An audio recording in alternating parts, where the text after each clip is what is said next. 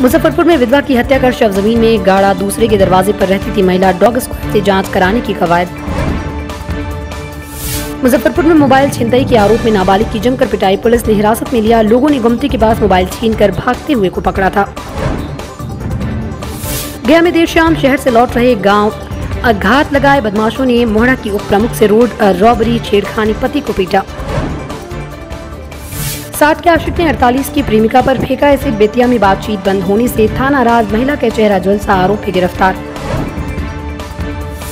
CBI की raid पर बिफरे पप्पू यादव जॉब सुप्रीमो बोले 15 साल तक के समझौते पर रुके थे लालू परिवार तो बांका में कार और ऑटो की जोरदार टक्कर, कार चालक व ऑटो पर बैठे सवारी बाल बाल बचे, आठ लोग हुए घायल। बिहार में पहला मौजा फैक्ट्री खोल बदली, ज़िंदगी की तस्वीर कोरोना काल में घर लौटा तो सूझा आइडिया पंद्रह मजदूर को रोज़गार देने के साथ कमा रहा दो लाख का प्रॉफिट। कुख्यात आज़ाद अली नई दिल्ली में गिरफ़्तार सिवान में रईस खान के काफिले पर ए के फोर्टी सेवन ऐसी बरसाई थी गोरिया मामले में शहाबुद्दीन का बेटा फरार।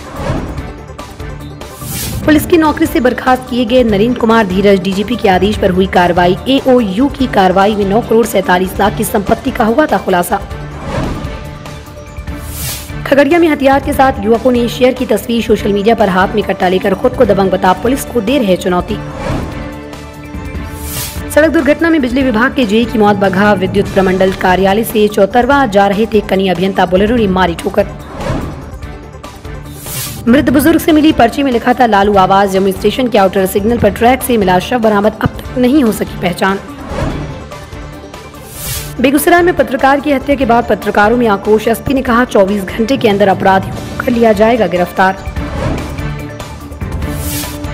हत्या के विरोध में महिला को पीट कर मार डाला सिवान में युवक को मारी गोली। भीड़ ने आरोपियों के पाँच घरों को फूका तीन जल से।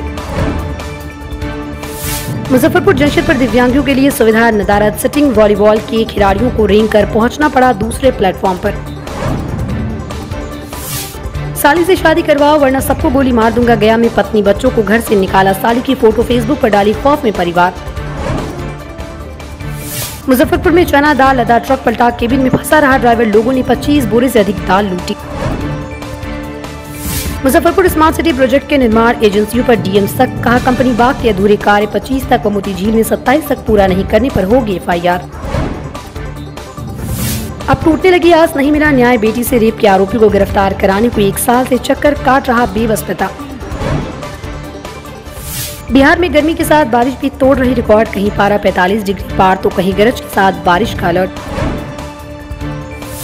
ट्रेन में लड़कों से ज़्यादा अधेड़ करते हैं छेड़खानी छात्राएँ बोली, महिला कोच में सोए रहते हैं पुरुष, यहाँ वहाँ छूते हैं।